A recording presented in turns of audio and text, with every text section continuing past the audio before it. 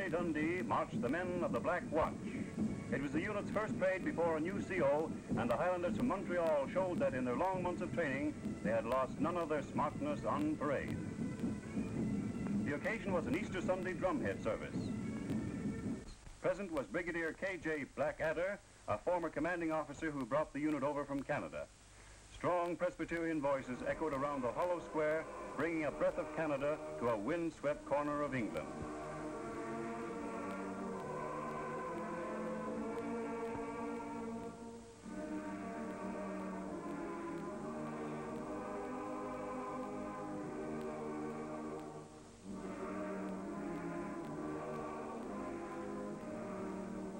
While Brigadier Blackadder took the salute, the battalion marched proudly by.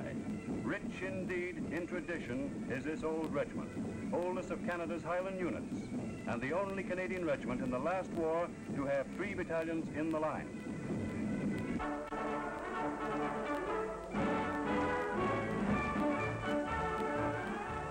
One of the last appearances of the late Major General H.L.N. Salmon, MC, was at his inspection of divisional medical units. Through the early morning mist marched the men of the field ambulances, the field dressing stations, and the hygiene section.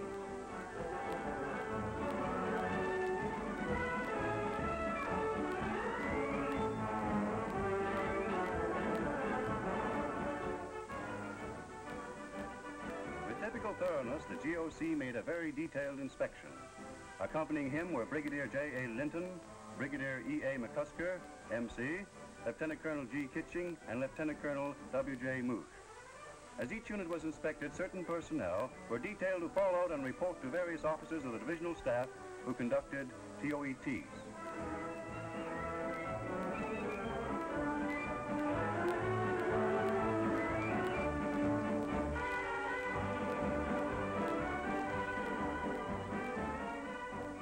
It was a real inspection that took the whole day to complete. And when General Salmon was finished, he knew that the medicals of his division were at peak efficiency and ready for action.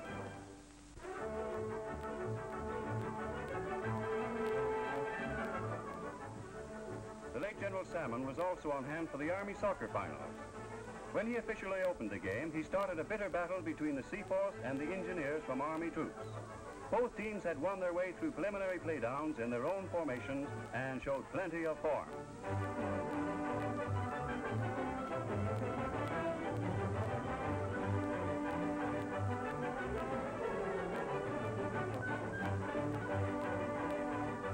It was a close and thrilling match, but the Highlanders from British Columbia were just a little too good for the Sappers and won by a score of 3 to 1.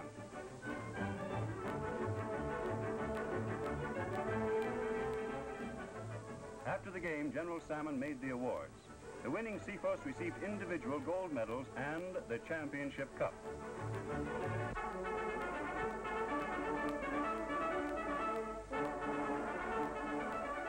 While soccer bowed out, baseball bowed in.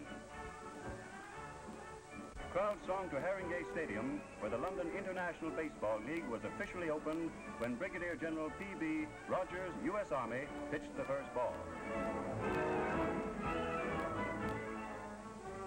Game brought together U.S. Army headquarters and CMHQ. Both teams were a little shaky at first, but soon settled down to business and put up a good game. Maybe some of the spectators didn't know just what it was all about, but pop and potato chips gave them the real baseball atmosphere.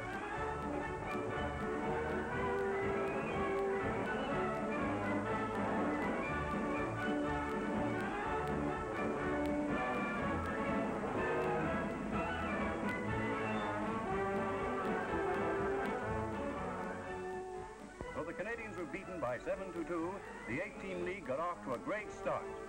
And it certainly looks as though there'll be some real ball played in London this summer.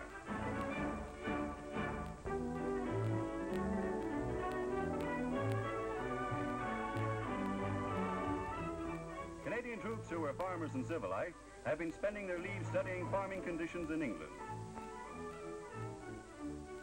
Many of them paid a visit to the King's Farm at Windsor to see a farm run in the royal manner. There were many a blue ribbon bull on display, and they were truly magnificent beasts.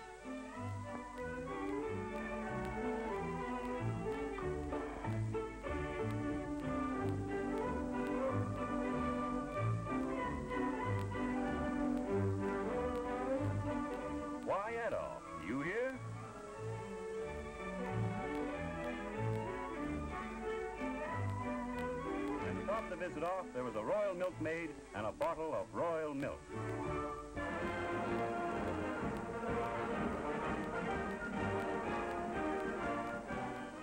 Lieutenant General McNaughton was on hand to present special watch fobs to men of the tunneling company's RCE who had served in Gibraltar.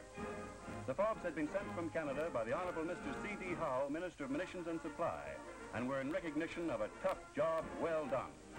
More than 300 of them were awarded, amongst others to Sergeant G. McChesney from Timmins, Ontario.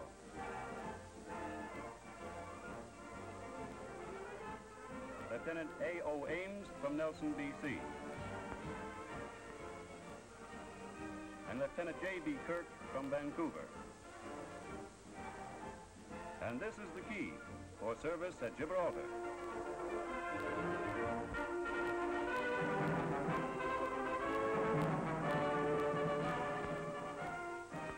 Private Charmaine Sansom arrived in England recently, she was greeted by her father, Lieutenant General E.W. Sansom.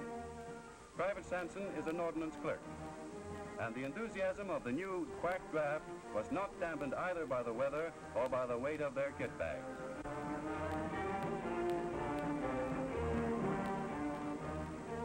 At recent royal investitures, military medals were awarded to Privates G. Jolet, R. Venier, and C. Lafleur, all of the FMR, and all from Montreal. While an FMR officer, Lieutenant A.A. Masson, also from Montreal, received the Military Cross. Lance Corporal Johnny Lorraine, RCE from Ottawa, received the British Empire Medal. On Good Friday, the Royal Winnipeg Rifles celebrated an anniversary. A special service was held, at which were present Major General R.F.L. Keller and Brigadier T.G. Gibson. The occasion marked the regiment's 60th birthday, and in those 60 years, the Little Black Devils have won a reputation second to none. At a recent to graduation, General McNaughton saw the first class of CWAC cadets. They were the first women officers to receive their certificate from the hand of the GOC-INC. The girls had worked and trained with the men cadets, and all together they put up a fine show.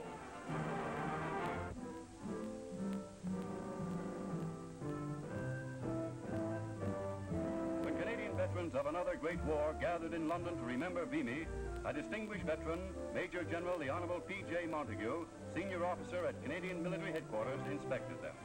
They were the men of the Canadian Veterans Guard, old soldiers who had not faded away, but who have returned to serve with their sons.